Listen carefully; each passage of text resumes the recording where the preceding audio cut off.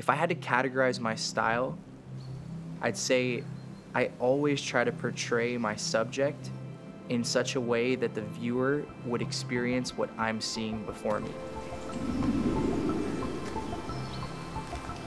I'm a commercial photographer and creative director.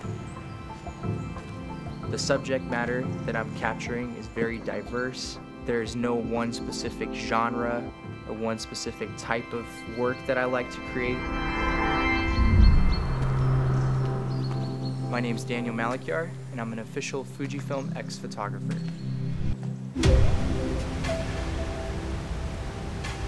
I was one of the earlier generations commercializing a subculture called urban exploration, the exploration of man-made structures that you wouldn't really be able to access or see. Sitting on 60 stories above a building overlooking the city of Shanghai, for example.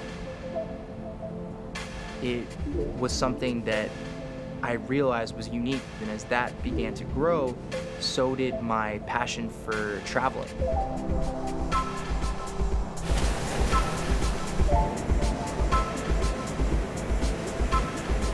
The next form of my profession is the world of entertainment, specifically with performing artists.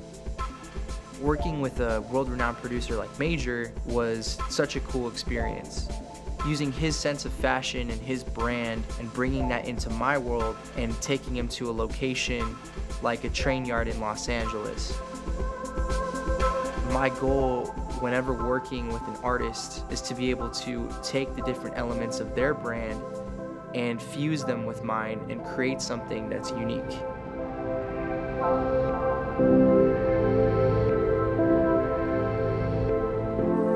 I've been working with the Fujifilm cameras for a little over two years now, starting with the X-T1, moving on to the X Pro 2, and ultimately to the X-T2, which is my favorite camera that I've ever got my hands on.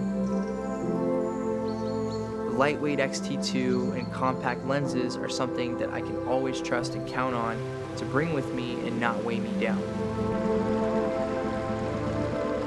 A lot of what I capture is very spontaneous and oftentimes unexpected. Even when shooting in low light situations, the X-T2 paired with the X-Series lenses always is able to get the job done.